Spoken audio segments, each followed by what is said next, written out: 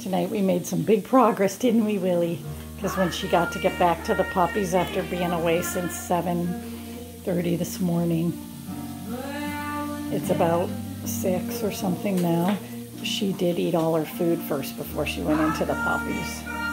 And believe it or not, they ate all their food.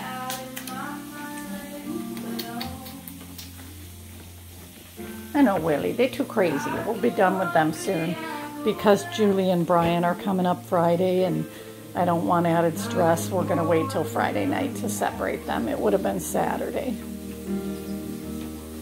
She's good girl, Willie. Come on out, on. Look at her. Watch her make it this jump. Good girl, Willie. Come on, jump. Yay! You're my fit little angel. All right, you fat pack of fatties. Come on, everybody. Let's use the let's use the bathroom. Then I'm going to throw in some fun balls for them. I can actually do that now, and I put out some more food for them. But you guys can probably hear the water running in the background because the sink is about to overflow, but I didn't plan this is spontaneous. Watch this, guys. Look what I got.